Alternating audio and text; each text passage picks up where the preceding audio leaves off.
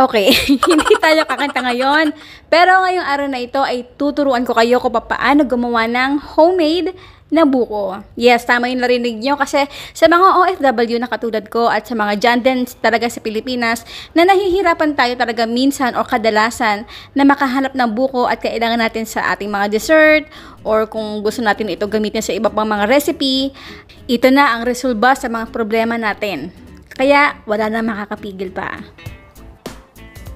Basically, para lang tayo talagang gumagawa ng gelatin. Pero dito sa ating recipe, ay inexakto ko talaga ang timpla at texture nito para ma-achieve naman natin yung texture na talagang totoong lasa ng buko.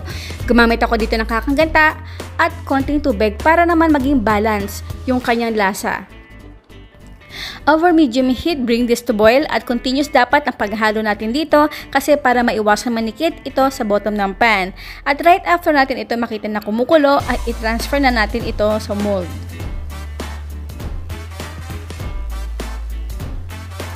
Itong ating homemade buko ay tested ko na talaga ito dahil pinagamitan ko na rin ito sa iba't ibang klaseng recipe pa katulad ng buko salad, uh, buko pandan drinks, at marami pang iba. Pwede rin itong ilagay sa mga egg pie. Pwede rin itong gamitin sa mga palaman katulad ng tupig, patabol, sa cake, at marami pang iba. Pero may limit lang ang ating homemade buko dahil hindi ito po pwedeng pakuluan o hindi ito pwedeng lutuin along with the other recipe. Kasi since na ito ay gelatin, ay ito ay matutunaw na kagaya nito.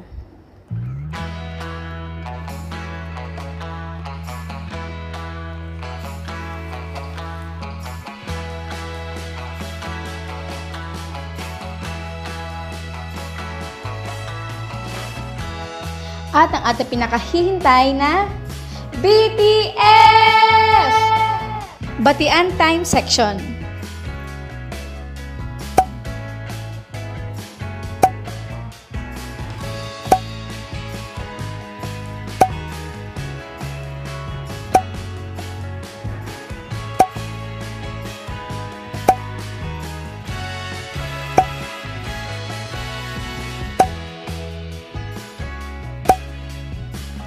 Ayan po guys, kung gusto niyo ma-shoutout dito sa ating channel, pakitype na lang, shout out para madali ko kayong makita.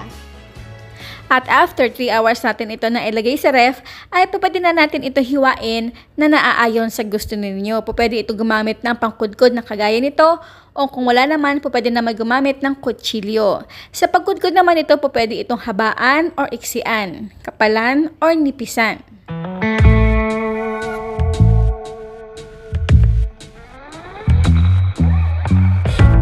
Yesterday I lost the battle. Trying at all costs, oh To keep you, baby. Oh, to keep you, baby. Doo -doo -doo. Now I hurt so bad. All I feel is sad that I lost you, baby. Oh, I lost you, baby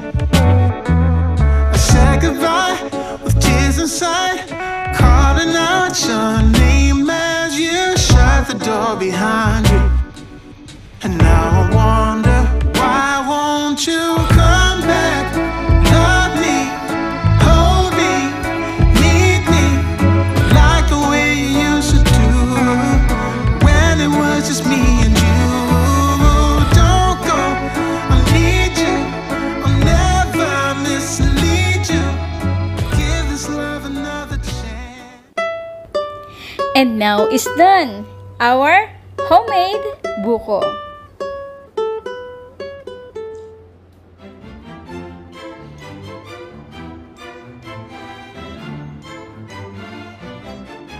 Bago tayo magtapos, naglagay ako ng tatlong logo na ang sarap grabe na katulad nito. I-screenshot nyo lang yan, i-send nyo sa akin doon sa Facebook page.